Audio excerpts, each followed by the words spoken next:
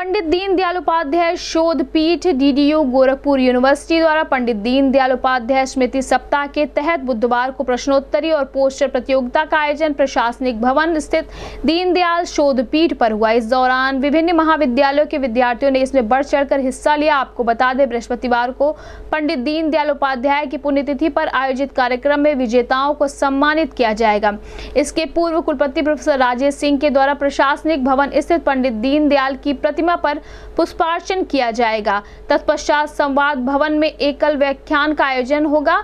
जिसमें मुख्य अतिथि के रूप में अखिल भारतीय संत समिति, गंगा सभा वाराणसी के राष्ट्रीय महामंत्री स्वामी जितेंद्रानंद सरस्वती जी, वर्तमान समय में पंडित दीन दयाल उपाध्याय के विचारों की प्रासंगिकता पर अपने विचार रखेंगे।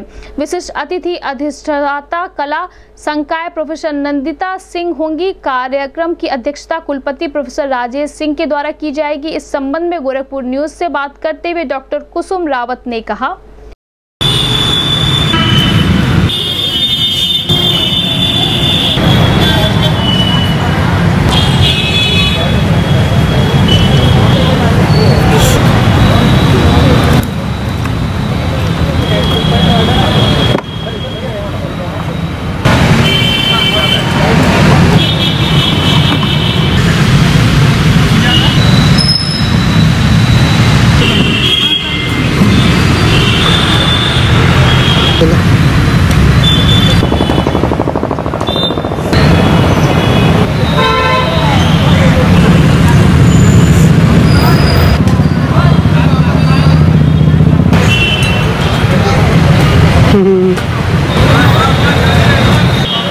सुनील।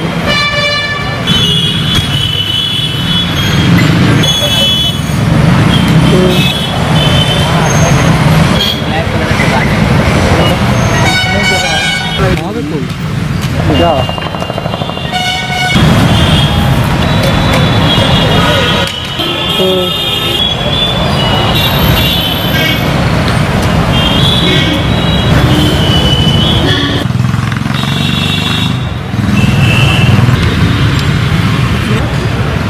मैं डॉक्टर कुसुम रावत, इलेक्ट्रॉनिकी विभाग दीनदयाल उपाध्याय गोरखपुर विश्वविद्यालय।